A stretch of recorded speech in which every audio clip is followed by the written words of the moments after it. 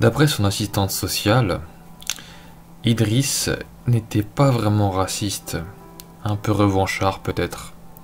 Sur les réseaux sociaux, il se vantait de baiser des blanches pour se venger de l'esclavage. Il avait l'air de quelqu'un d'important. La dame semblait être son épouse, une gracieuse personne d'un mètre cinquante pour cent dix kilos, qui mangeait sa mayonnaise au pot et à qui le diététicien demandait toujours quelles sont vos pistes d'amélioration après avoir voulu prouver que les ronds aussi pouvaient faire du sport, et suite à un grave accident vasculaire, elle avait laissé tomber toute activité physique. Quand elle disait à son mari Je vais me préparer, ça évoquait à ce dernier une préparation d'artillerie. Il l'a trompée avec euh, tout ce qu'il employait. Mais il l'a gardée parce qu'elle ne le trompait pas. Et euh, de l'avis de monsieur, que ça n'arrive un jour, que ça arrive un jour, était à peu près aussi probable qu'elle se mette à sauter à la perche.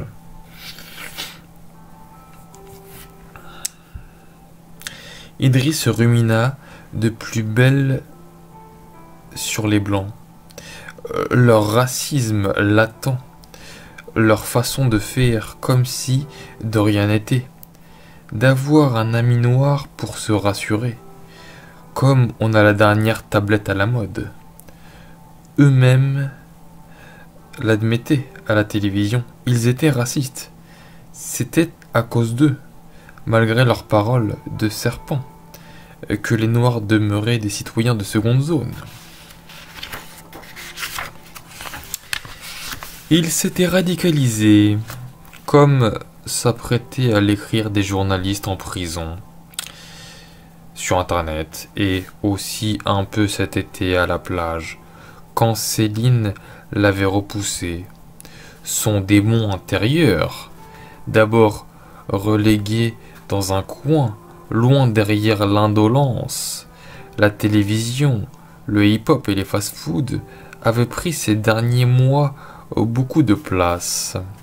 C'est lui qui tua les trois autres couteaux, sous l'œil perplexe du lama. D'abord l'ingénieur qui échappa à un gloussement bizarre, puis le bourgeois qui se vexa et mourut dans la même seconde. La lame mesurait 30 cm dans le ventre, dans la gorge, à grands coups des jets de sang. Madame regardait ça, fascinée, comme on regarde quelqu'un vomir. Il n'y avait plus dans son être aucun instinct capable de réagir. Le démon était puissant. Son hôte avait compris qu'il s'appelait Islam. Il criait Allah Akbar. C'était son cogito à lui, sa manière de dire je suis.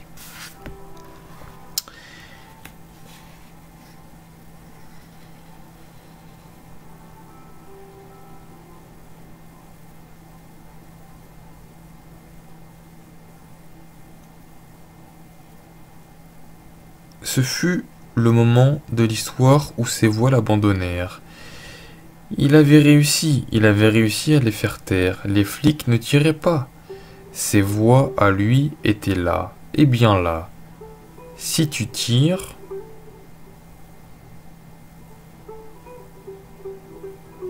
c'est toi qui meurs. L'État règne par la morale en dressant ses troupes comme des chiens de cirque, en leur apprenant à respecter des tabous ne jamais tirer sur l'homme de couleur.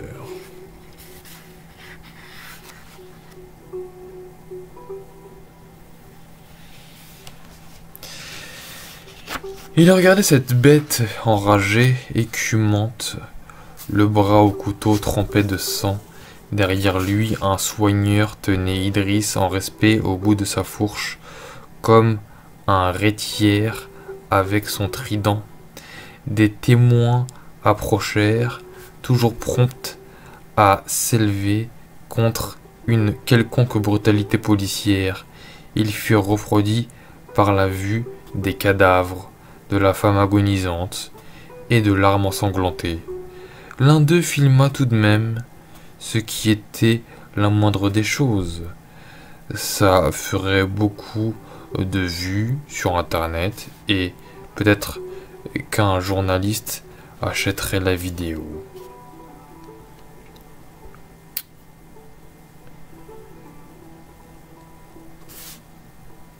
Idriss fit alors volte-face, défia en souriant le soigneur à la fourche, puis approcha le groupe de visiteurs.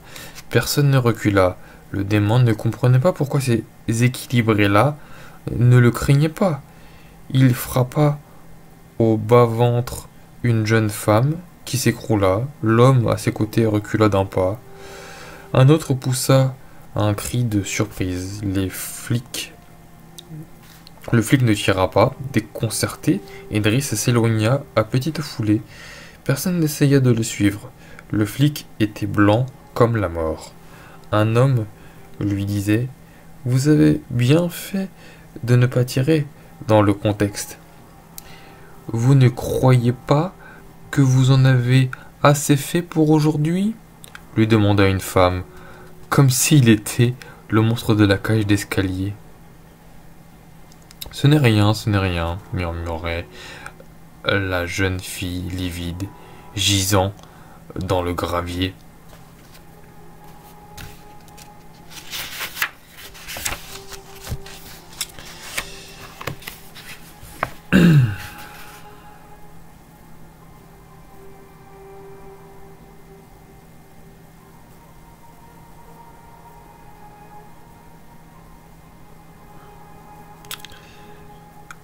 L'enfer serait donc le lieu où l'on comprend, où l'on comprend trop. Émile Cioran. Paris 5e arrondissement, 19h30. Un peu ahuris devant leur télévision, tristement équilibrés, le colonel Fourreau et sa femme attendaient la suite du programme. Ça m'arrive, comme tout le monde, a répondu le Premier ministre à la question d'un humoriste sur sa consommation de cocaïne. Une déclaration saluée par les éditorialistes qui va dans le sens d'une légalisation. Polémique maintenant avec ce nouveau dérapage du sulfuré ministre des Transports, pour qui les accidents de la route ont, je cite, toujours existé des propos qui choquent alors que plusieurs accidents ont déjà eu lieu cette année en dépit des engagements du gouvernement. Sèchement recadré, le ministre n'en est pas à son coup d'essai en janvier dernier et se déclarait convaincu que les individus étaient parfois responsables de leurs actes. Son entourage, qui euh, le dit, fatigué, a présenté des excuses aux personnes qu'il a pu blesser. À la Convention des associations multiculturelles de France, en présence du CRIF, du CRAN, du collectif Rome, de l'UOIF, des unions de, l'Union des Métis de France, des Renois représentants et des Babtou fragiles, le Premier ministre, au terme d'un discours ovationné, a promis aux diverses composantes de la nation de leur réserver une attention à part entière, tout en réaffirmant le refus de la République de reconnaître les communautés. Enfin, concernant les 30 touristes français égorgés au Yémen, il s'agissait il s'agirait, selon le Quai d'Orsay, d'un simple malentendu. Nous interrompons à nouveau euh, ce flash pour revenir au drame de la cité Taubira. On nous signale que plusieurs assaillants présumés, soyons prudents, disons plutôt euh, des individus profiteraient des troubles euh, des mouvements citoyens pour commettre euh, des actes euh, des actes délictueux nous vous parlons au conditionnel hein. Euh, beaucoup d'informations nous arrivent d'un peu partout et sont pour l'heure invérifiables oui il faut être très prudent comme toujours, on voit que ceux qui profitent de la situation pour déchaîner leur haine sont les extrémistes de droite. C'est-à-dire les terroristes. Tout incident du très bien vivre ensemble est une victoire de l'extrême droite et inversement. En effet, d'ailleurs, il faut le signaler, les sites d'information sont confrontés à des commentaires évoquant les itinérants de manière violemment péjorative propos qui tombent sous le coup de la loi euh, d'incriticabilité du très bien vivre ensemble et sont donc passibles, euh, rappelons-le, de 75 000 euros d'amende, de 3 ans de prison, d'un stage de déradicalisation politique et de la publication de leurs coordonnées complètes sur le mur de la honte. Nous ne sommes que trop laxistes avec ces gens-là. Ce sont eux qui ont armé le bras de ce policier assassin. Ça suffit. Rappelons d'ailleurs que l'on peut et que l'on doit signaler tout comportement déviant et non citoyen sur ce site, que vous trouverez à l'adresse dénonce Oui, soyons vigilants. Soyons tous vigilants. Vous avez raison. Et on nous signale que Ourish al-Islam porte-parole de la Ligue musulmane, est prêt à réagir. Une réaction commune avec Bruno Fourier, le leader des jeunes citoyens, ce qui s'annonce comme un signal d'unité républicaine très fort. En annonçant cela, le journaliste avait retrouvé le sourire, comme si on faisait entrer sur le terrain le joueur favori susceptible de renverser le cours d'une partie mal engagée. La scène évoquait un meeting politique américain de beaux jeunes, de beaux jeunes hommes impeccables se tenaient face à une foule acquise. Uresh al-Islam était un leader d'opinion talentueux qui euh, propageait son islam avec suffisamment de modération pour tranquilliser la ménagère. Il parvenait à séduire une partie de l'électorat pratiquant et surtout de l'électorat classique c'était le trait d'union parfait. L'extrême droite le haïssait, ce qui voulait ce qui valait titre d'abonnement médiatique. Quant à Bruno Fourier, le bel activiste au Catogan, il fédérait les courants estudiantines et militants de la gauche et du centre. Les suffrages féminins lui étaient largement dévolus sur l'estrade, les deux hommes se tenaient par la main, la foule applaudissait et Jocelyne se retenait d'en faire autant. Songeur, le colonel pensa que la foule était femme, et que la foule, comme la femme, n'aimait que ceux qui savaient lui mentir. Les gens voulaient une négation sur mesure du réel un arrangement avec l'impossible, un pacte avec le diable. Enivrés d'un mensonge, ils avaient trop peur de dessouler, et tous hurlaient au comptoir, habitués à ce que le patron remette ça. Mais cette fois c'était fini, vraiment. La réserve était vide, il n'y avait plus un rond dans les caisses. Ça faisait déjà un moment que le patron était raide, et, et qu'il s'endettait. De l'avis du colonel, le principe de réalité était une sorte de créancier modèle forcené qui vendrait à bout de qui viendrait à bout de toutes les magouilles du monde. Il a le temps que n'ont pas les hommes. Il regarde et il attend, patient comme le diable. À la télévision, Bruno Fourier, flamboyant, évoquait le massacre des innocents. Le colonel, lui, n'avait jamais été patient cet homme, il ne le supportait pas. Il était ce que l'époque avait de plus commun et de moins supportable. Et Jocelyne y adhérait de tout son être. À chaque fois qu'il la voyait ainsi, penchée vers la télévision, le sourire niais et hochant la tête, il avait envie de tuer. Il se fit craquer les doigts et s'agita sur son canapé. Et Jocelyne ne comprenait pas pourquoi. Pour elle, Bruno Fourier était normal. Donc son mari ne l'était pas. Dans un monde à l'envers, il est fou d'être à l'endroit où Reich al-Islam interpellait le président exigeant un soutien financier immédiat et conséquent de l'État envers les autorités islamiques locales, aussi longtemps qu'il le faudrait, faute de quoi la paix sociale ne pourrait être maintenue, ni les revendications légitimes contenues.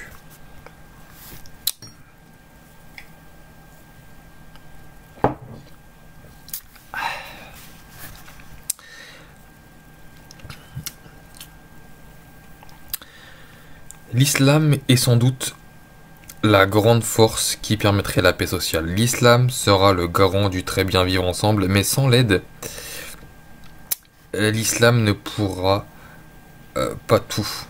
Il ne pourra pas réparer les situations les plus désespérées et les plus injustes, celles que votre société d'exclusion a créées.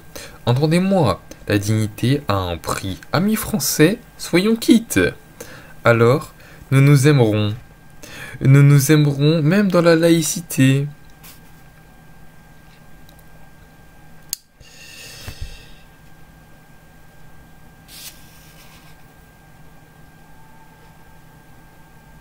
Mais laisse, intervint Jocelyne. Je l'aime bien, moi, ce Bruno Fourier. Euh, je crois vraiment que c'est quelqu'un de bien. Tout le monde le dit. Il a fait beaucoup de choses pour la jeunesse.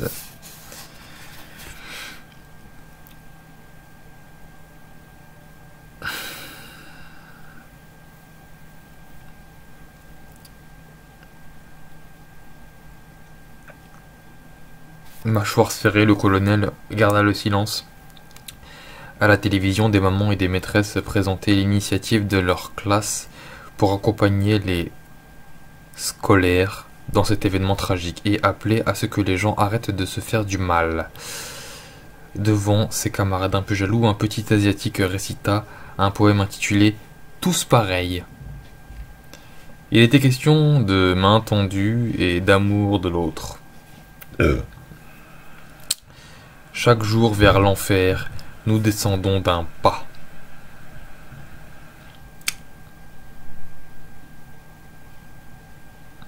Le colonel avait dit ça dans le silence de la télé jacassante, avec sa voix venue d'en bas. Il regarda sa femme en se disant qu'elle avait beaucoup de chance de ne rien comprendre. Il se demandait parfois ce qu'il faisait avec elle. Il se méfiait des femmes en général, surtout depuis les quotas dans l'armée. Le colonel était de la vieille droite et de la grande muette. Tout ce qui était social et verbal lui paraissait un peu suspect, un peu comme un peu comme sa femme, un peu comme notre société de communication et de vivre ensemble.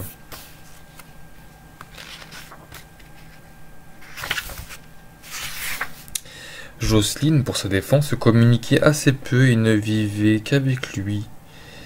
Elle était l'autre France, la bonne, celle qui pense qu'il faut aider les autres et se serrer les coudes, celle qui s'indigne, qui s'engage contre les profits et les inégalités, qui s'inquiète de la détresse sociale des déshérités, du climat de haine et de la progression des extrêmes, la France de Victor Hugo, son auteur favori, dont elle s'émerveillait tous les quatre matins sans jamais avoir compris que son mari y était allergique, comme il était allergique à la compassion, connerie de bonne femme, fabrique de planqués.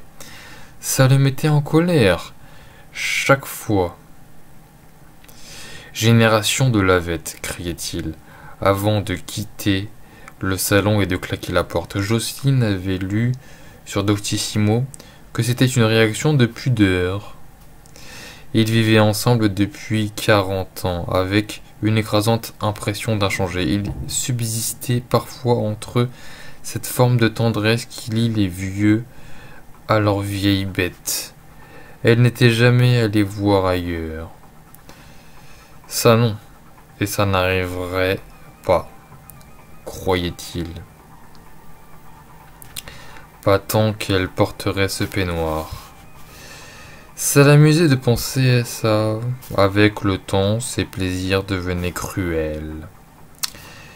Comme tous les autres, pour animer leur longue vie commune, ils avaient surmonté leur répulsion pour faire des enfants. Ils n'en avaient plus de nouvelles et, par devoir, avaient élevé leur, orphelin de petit-fils. Précisément, c'est le moment qu'avait choisi celui-ci pour leur rendre visite. Il s'appelait Vincent Gite. Il avait 29 ans. Il était grand et costaud, un peu mal rasé et un peu fou. Cheveux chauves et yeux gris et verts. Un regard de verre, gênant comme un éclat enneigé. Son expression à la fois absente et, invincible avait quelque chose d'apathique et de froid, comme un air de soldat russe, perdu dans un horizon de glace. Tout en lui évoquait la puissance et la résolution.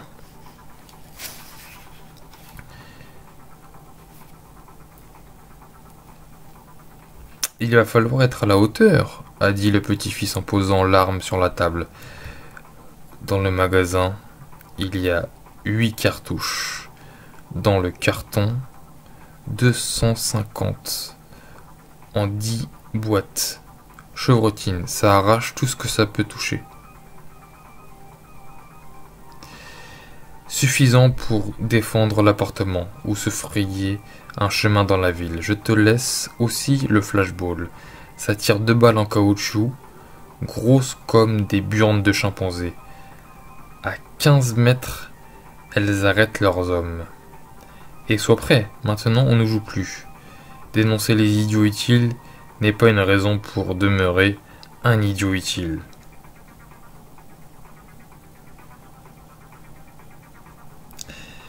Il se tourna vers sa grand-mère.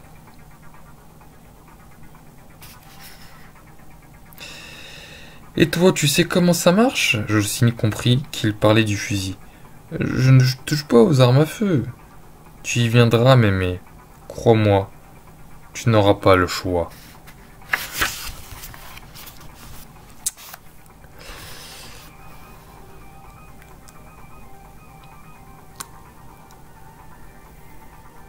Sur la table rayonnait l'arme noire. Dans toute sa brutalité froide, intrusive, pesante, aussi dérangeante au moins que cet homme, Jocelyne s'en tenait aussi loin que possible, presque dos au mur. Pudiquement, le colonel s'en empara et partit le ranger dans son armoire. À voix basse, la grand-mère en profita pour s'en prendre à son petit-fils. Qu'est-ce que tu vas encore mettre dans la tête à ton grand-père, hein? Avec tes idées à la gomme, là, hein? Tu sais bien qu'il angoisse d'un rien, il n'a pas besoin de ça. Le jeune homme ne répondit pas. Jocelyne en avait l'habitude. Dans cette famille, les hommes parlaient surtout avec les yeux, et, ceux de son petit et ceux de son petit Vincent brillaient ces derniers temps d'une intensité étrange. Il était souvent un peu ailleurs, mais cette fois quelque chose le hantait, et Jocelyne n'aimait pas du tout ça. Avant que son grand-père ne revienne, Vincent Gite s'en alla. Il va lui arriver des bricoles à notre petit gars, Henri. Quelle angoisse cet enfant Des bricoles Un enfant? Était-elle à ce point aveugle? Le colonel jeta un œil par la fenêtre. Quelques passants des travaux éventraient le trottoir. Une tranchée béante aux airs de caveau. Quatre véhicules de police passèrent en trombe, sirène hurlante. Jocelyne le regardait. Alors, il y a du bazar? Rien. Le colonel retourna à son canapé. Mes affaires sont prêtes? Si ça continue, je vais peut-être rappeler, ça ne manquera pas. Bien sûr, le rassura-t-elle, avec sa sollicitude d'infirmière. Il y a bien longtemps que plus personne ne l'appelait.